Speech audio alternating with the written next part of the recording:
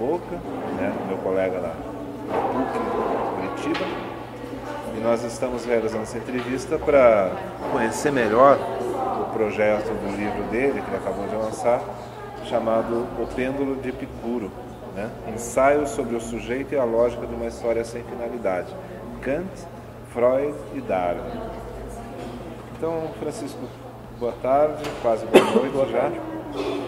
Uh, você escreveu esse livro junto com o Daniel Omar Pérez, né? Sim. E o Daniel, é, eu ainda, quando eu comecei aqui na PUC, ele ainda era professor aqui, depois ele, ele foi, passou no concurso na Unicamp, né? E eu não conheço muito bem essa, essa trajetória anterior, uh, do, enfim, que, daquilo que resultou finalmente no, nesse livro. E eu queria que você comentasse um pouquinho como é que foi esse, esse processo, enfim, a, a, parceria de vocês, como que a coisa foi se estruturando e de que forma que vocês chegaram à, ideia de, enfim, de desenvolver esses trabalhos juntos, né? E, e, e esse livro especificamente. Ok. Então, como, como você disse, o, na linha onde nós trabalhamos hoje, ela tem uma história de participação de outros membros, né, outros colegas, inclusive o Daniel que antecedeu a tua, a tua presença. Né? E a dinâmica do seminário, como a gente ainda conserva até hoje, é de ter temas né, temas, é, temas geradores a partir dos quais a gente desenvolvia o seminário e organizava e planejava as publicações. Então, nós tivemos temas como a matéria, é, temas como a realidade, temas como história, né, e que produziram também é, resultaram também em livros. E a parceria ela vinha da, da própria dinâmica de estar trabalhando junto, de dar aulas sobre isso e de explorar autores diferentes e que iam resultando em textos, artigos, e que num dado momento a gente entendeu que seria produtivo transformar isso em ensaios. Né? É, e esse último, ele, ele seguiu essa mesma lógica, e, e a, a, então a concepção dele, o miolo, né, o recheio dele é de trazer textos que foram abordados em sala de aula como, a partir de autores como Kant, Freud e Darwin. Né, por isso eles figuram no, no subtítulo do livro. E a concepção de história, então, amarrada entre, né, entre esses autores. E, e ele já é o terceiro formato, né, a terceira opção nossa, e ele aparece no, no, dizer, no, no gênero ensaio. Né? Uhum. Por que, que a gente fez essa opção por ensaio? Porque como o tema dura, durava, né, sei lá, um ano, dois, às vezes, havia muito material, né, muita, muita leitura, muita pesquisa, muita pesquisa e tal. E para que isso não, não, resultasse, por exemplo, em calhamaços, né, em textos extensos, detalhistas, essas coisas, a gente começou a pensar nisso, né, ensaios que seriam textos de tamanho mediano, né, esse último texto tem 190 páginas, então é, é, seriam textos concisos, né, os capítulos mais ao, ao molde de artigos, onde os autores são explorados, vamos dizer, nas suas ideias nucleares. Né? E a partir daí, então, o leitor tem uma bibliografia, tem uma sugestão que, que permite avançar né? nesses autores e no tema. E como é que vocês trabalharam juntos? Porque é, é um exercício que demanda uma certa cumplicidade, enfim, uma uh, algum grau de, de harmonização né, de, de, pessoas diferentes, que talvez até trabalhem de modo diferente. Como que foi isso? É. Eu acho que isso sempre foi uma característica do seminário, né? da linha de pesquisa e do seminário. Haja visto que nós conseguimos reproduzir o mesmo ambiente com pessoas diferentes. Nos dias de hoje, né? eu e você. E, é surpreendente mesmo isso, porque É, inclusive o trabalho não se limita às, às pessoas do, da linha, né? os professores da casa. O ensaio anterior tem a contribuição, a participação efetiva da Josiane Bock, que de outra universidade colaborou também. Né, ontologia sem espelhos. Isso, na ontologia, que depois foi traduzido em Paris e tal. E dessa forma, como colaborador externo. Né? Nós temos o modelo que você também participa hoje, que é de visitas, né? de pessoas que passam pelo seminário, que estão aqui em Curitiba. Né? Então tem sempre essa dinâmica, onde a, as particularidades de cada um acabam sendo assimiladas positivamente, né? e, em lugar de acabar constituindo obstáculos para o trabalho. Né? Eu acho que realmente as pessoas às vezes estranham isso, como é que eh, resulta em tantos, eh, tantos produtos assim, né? que exigiriam um trabalho muito profissional. Na verdade ele é intuitivo, né? é um trabalho que já está acontecendo com a gente, né? estamos, estamos organizando é, publicações futuras e você percebe que é intuitivo, porque é, é o próprio trabalho que permite isso e acaba resultando nesses produtos.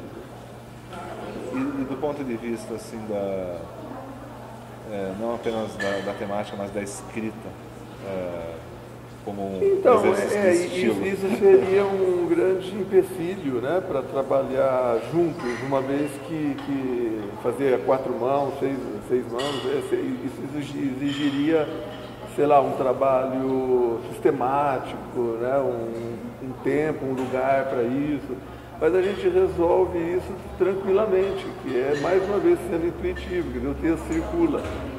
Né? Alguém começa a fazer, faz lá um textão, manda para o outro, o outro reescreve, o outro reescreve, até que ele vai, é, nessas sucessivas revisões, mesmo de longe, é, o texto acaba ficando mais ou menos homogêneo. Na verdade, eu já ouvi comentários de pessoas que leram o ensaio que dizem assim, ah, conhecendo os autores, dá para saber quem escreveu, quem contribuiu mais para cada parte, ah, né? onde tem mais a mão de cada um. Né? Então isso realmente passa. Mas essa circulação do texto, onde todos podem ler e reescrever, acaba homogeneizando o vocabulário, os argumentos, exemplos, coisas assim que dão o formato, vamos dizer assim, de um, de um ensaio mas minimamente homogêneo, mas a gente sabe que não é. Né? Tem... E a, enfim, quais seriam as, as principais conclusões assim, do, do, livro a partir da pesquisa? Né? Quais os principais resultados assim, que vocês obtiveram? Em poucas palavras. Você diz desse, dessa última é? Bom, o, o resultado midiático, assim, de divulgação, está sendo bom. Tá, a gente tá, ele tem 10, 15 dias, nem isso, de publicação.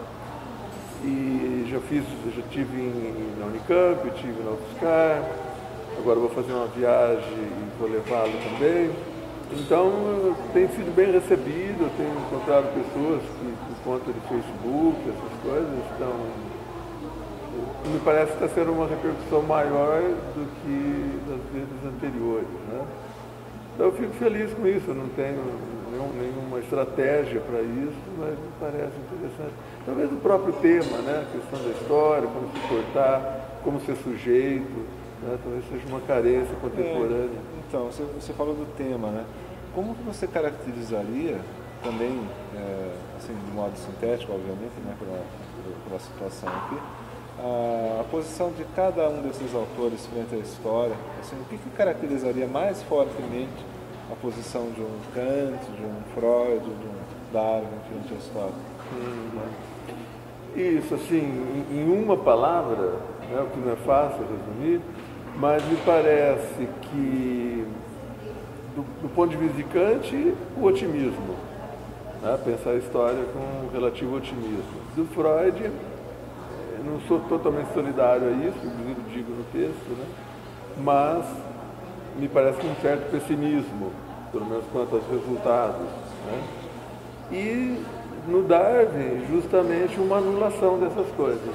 Quer dizer, o que traz, que resgata um autor que não é exatamente contemporâneo, mas que lido hoje, né, com os instrumentos teóricos que a gente tem hoje para compreendê-lo, permite pensar a história, um sujeito da história desprovido de, dessas categorias de otimismo ou pessimismo. Me parece que, a partir do pensamento de Darwin, a gente pode pensar uma, uma possibilidade de se comportar de uma maneira contingente, um enfrentamento momentâneo, quer dizer, um enfrentamento dos fatos na medida em que eles aparecem. Né? Um, um, um devir é, contingente que exige, me parece que até mais do que no passado, né, uma perspectiva de um sujeito que tem uma missão de, de se conduzir para o progresso ou de evitar o declínio, né, de se safar, vamos dizer assim, ou de lidar com essas situações pré-determinadas, finalistas. Né? Me parece que a, demanda que o Darwin socorre, teoricamente, é justamente a demanda de saber o que fazer estar preparado para viver a contingência dos fatos. Né? Me parece que é muito contemporâneo. Sim. Né? Parece que, inclusive, a nossa época contemporânea compreende melhor Darwin desse ponto de vista. Né? Eu acho que hoje. Histórico isso, da compreensão dele. Isso, acho que vivemos um momento privilegiado para compreendê-lo. Inclusive, a gente tem insistido muito nisso né, no seminário, porque antes, né, vamos dizer, na, na sua origem, no, seu terreno de, de, de emergência, o, o, Darwin ainda era muito visto sob essas categorias finalistas, né? que de certa forma fazia do pensamento dele alguma coisa é, é, é colateral a, aos enquadres modernos. É, nós estávamos falando então da, do conceito de história, né, nos, nos três autores abordados aqui. Você estava falando da, da, peculiaridade do Darwin, né? De, de, ser uma história mais contingente, menos sujeita, vamos dizer assim, a uma, uma teleologia ou, ou mesmo a, a, a, ideia de uma freudiana, por exemplo, assim, de, de uma entropia, né? Em relação ao próprio processo. Não há um, um finalismo nessa, nessa história darwiniana. Sim. É. Como eu dizia, o que nos ajuda a atualizar a leitura dele, e quem nos ajudou muito, foi Canguilhem, na medida em que ele concebe que a evolução eh, já, vamos dizer isso, ele aparece, vamos contribuição teórica a partir dos anos 40, depois 60 ele aparece com toda a força, publicando sua tese doutoral e tal, onde justamente a ideia de emergência, né, de, da vida como uma emergência e uma variação que não é, é quer dizer, que tem, que tem o seu, tem o seu fundamento, mas que não, não, não tem um plano, né? Como o François Jacob vai dizer, o, o, código genético é um roteiro sem autor. Né? Há um roteiro, há, há uma matéria-prima da qual a, a, natureza é feita, da qual pode-se pensar que a história seja feita, mas não há um roteiro para a articulação desses fatos, para a emergência de novos fatos. E, e, nesse sentido, muito menos um lugar a se chegar, uma expectativa que nos oriente. Né? E que cria expectativas mesmo, né? que, cria, né? que nos dê essas expectativas e que constitua o sujeito dessa forma. Então, essa, essa visão que o Darwin traz, a gente chama no livro de uma visão mais econômica, né? um ponto de vista mais econômico, por quê?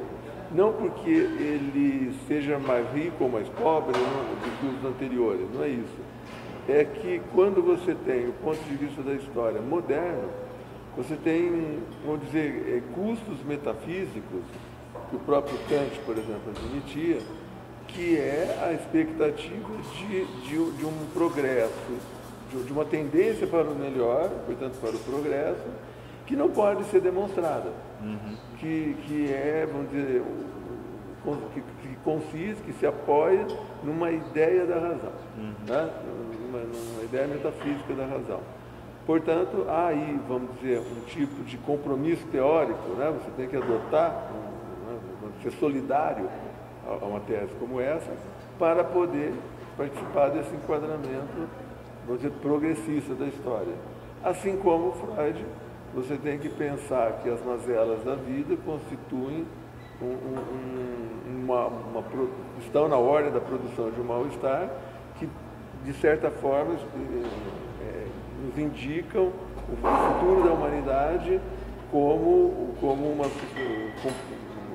um lugar, né, o palco de uma sociedade neurótica, né, de uma doença nervosa moderna, por exemplo.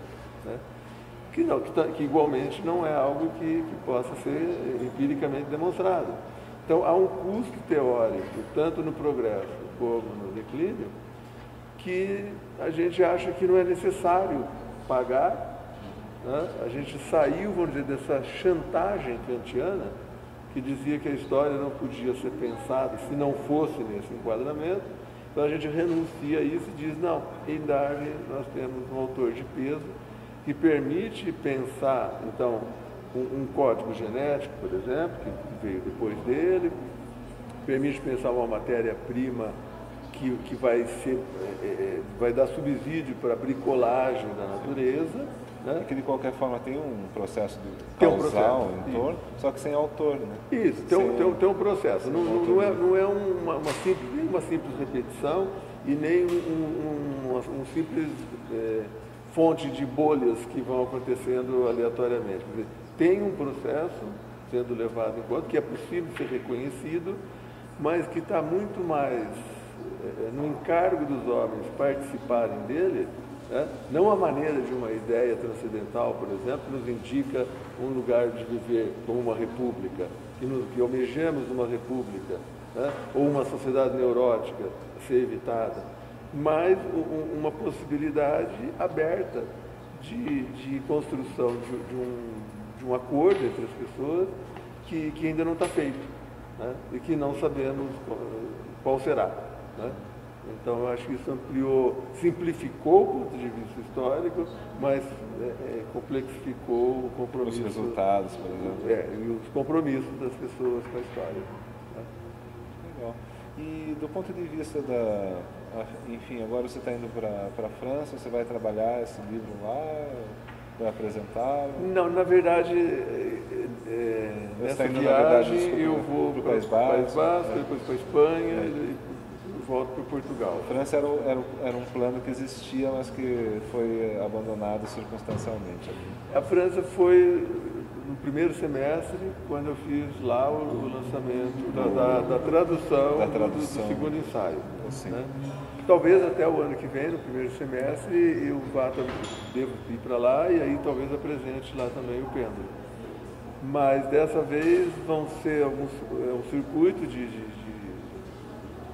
de, de eventos que a gente organiza num grupo internacional que se apresenta em diversos países, uma vez a cada ano. E dessa vez vai ser em São Sebastião, que é. Vocês já estiveram no Chile? Sim, no Chile, na França, agora em São Sebastião, e, e o ano que vem vai ser aqui no Brasil. E depois de lá a gente vai fazer alguns encontros também em Universidade de Rioja, depois Saragoça, depois Coimbra, depois Évora. E a ideia é que na minha participação eu faça referências ao livro, né? aos capítulos, assim, né? ao tema e aos capítulos, abordar então a noção de história a partir desses autores aí.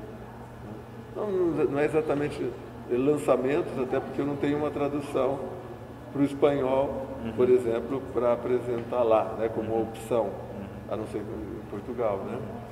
Mas é uma ideia de estar tá levando conteúdo do livro, compartilhando lá com os colegas desse grupo. Né? Bacana. E como que as pessoas fazem para encontrar o livro? digamos assim, as pessoas que estão nos assistindo, como que elas fazem? Pra, Bom, essa editora, que a gente já tem uma história de, de publicação com ela, que é aqui de Curitiba, inclusive ela que publica a coleção Psicanálise em Perspectiva, que envolve e vem envolvendo já em sete volumes todos os colegas da área, né, de todas as universidades brasileiras e alguns até estrangeiros. Ela é uma editora que está bem disponibilizado em termos de mercado, assim, eles têm um site muito bem feito, onde você tem a possibilidade, então, de, de adquirir pelo site tanto o livro impresso como o e-book. Eles já são editados em e-book também, onde o processo é muito mais rápido. Né? Então, a, a, o procedimento é muito simples, é editora CRV, aí indo lá, digita o meu nome, o Daniel, ou o título do livro, e você vai ter logo ali a possibilidade de... E recebe o livro em casa? É, recebe em casa ou já baixa, se for... Ah, se for... Né? Ele está na Amazon. Maravilha. Então tá certo, Francisco. Obrigado e sucesso com, com o livro, né? Eu que agradeço. Pêndulo de Picura. Eu que agradeço. E ao Daniel também, né? Uhum. No momento que ele assistiu a entrevista. Parabéns também né, pela, pela publicação. E é, estamos, uh, a partir de agora, na, na expectativa de, de, novas obras que virão. E que espero que, que a, nossa, a nossa parceria também frutifique. Muito obrigado. Obrigado a você. Até mais.